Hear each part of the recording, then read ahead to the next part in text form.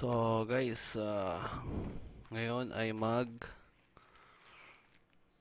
uh, pipix tayo ng nut, uh, other terms, uh, other way para mapix yung nut. Credit kay Sir Jerome. Uh, tatry natin yung kanyang uh, script. So, kailangan nyo lang guys is open telnet ang iyong uh, Black Mamba or open telnet ADB. So, download kayo ng hindi ko lang basa rito, pati puti. Basta yan, uh, download kayo nito. Then, open nyo lang si Telnet. Then, uh, click nyo Telnet, uh, punta kayo sa uh, gateway ng ating modem. 192.168.8.1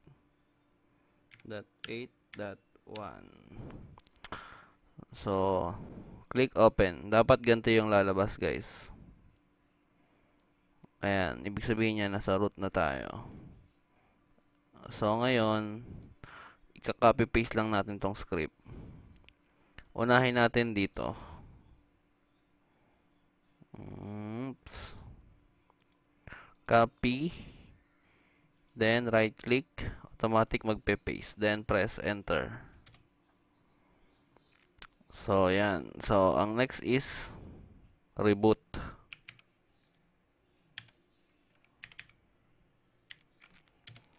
So, mag dyan guys, magre-reboot yung modem. So, wait nyo lang hanggang mag-reboot uli si modem. So, para malaman natin kung naka-reboot na, punta lang tayo dito sa kanyang 192. So, reload, reload lang natin yan. So, ayan. Pagka nag-reload na, so, ayan. Ibig sabihin guys, okay na. So ngayon, open ulit natin yung pati. Close na natin to. Kasi gagawa tayo ng new session. Type nyo lang, pati. Then yung address. After ng address, click telnet, then open. So, ito yung isa. Tat, uh, ito pa, after ng reboot, ito naman ta-type natin. Copy lang, then paste. And then, this one, cut, uh, ito, copy, paste, then enter.